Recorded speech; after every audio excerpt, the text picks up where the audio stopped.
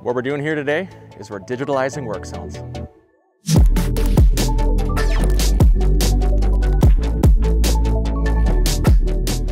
So what we're doing is first off, we're taking the LiDAR vehicle with our Nektar partnership and we're capturing a baseline. That's a stretch of roadway which we've installed temporary pavement markings from 3M. It's a wet reflective 3M product, which allows the LiDAR to see the lines nicely and to know that they're within the lines. We have a sample work zone set up by IntelliTrafik and U of A.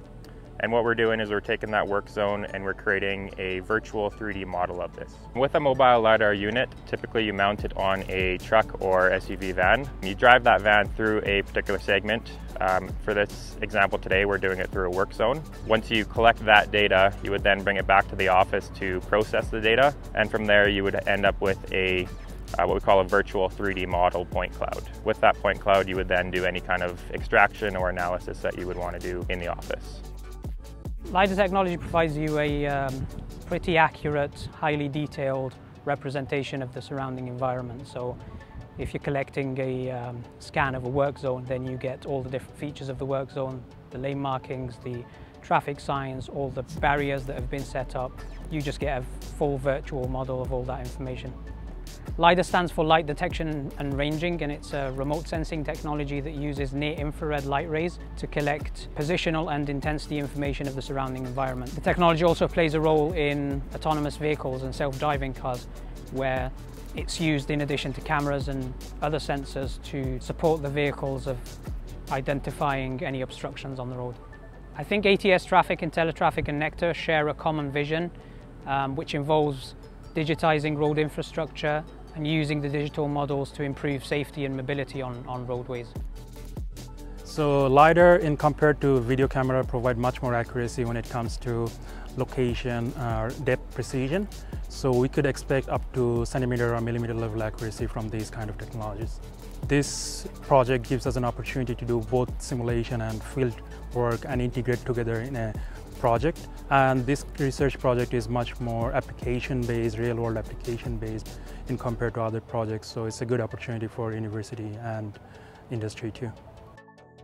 Data is the language that needs to be communicated.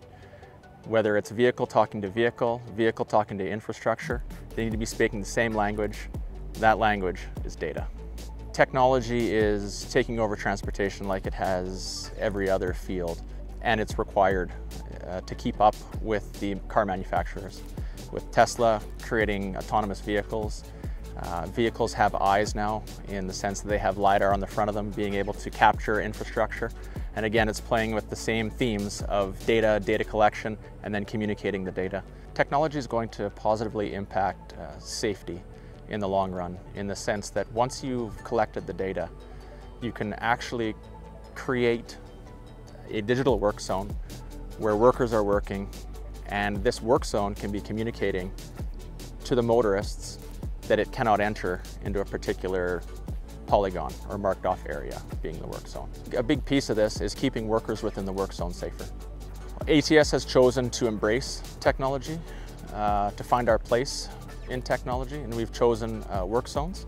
When we look at ourselves internally and ask ourselves what might be our core competency, it probably is the work zone. We design better work zones than anyone in the world. We set up better work zones than anyone in the world. And now we're going to digitalize work zones better than anyone else in the world.